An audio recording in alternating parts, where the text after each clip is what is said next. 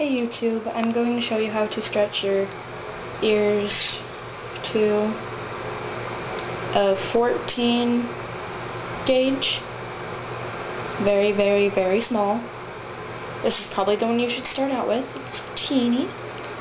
Um, so what you do is you take alcohol and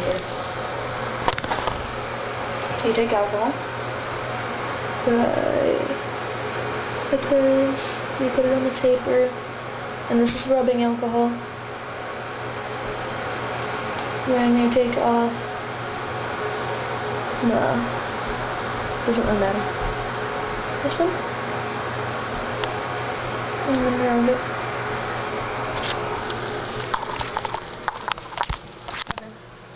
Dry it off. And put lube, lube on it lube it up. Oops. Hold on. To fall off. Put lube on. And come up to not you.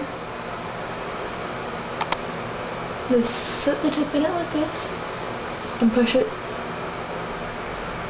straight and back and there, and then you put on the back. See, my other ear is already stretched too. I have no clue. I have a plug in though.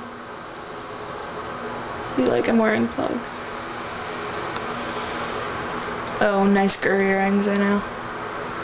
okay.